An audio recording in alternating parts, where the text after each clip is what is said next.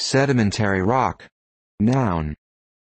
1. Geology, one of the major groups of rock that makes up the crust of the earth, formed by the deposition of either the weathered remains of other rocks, the results of biological activity, or precipitation from solution.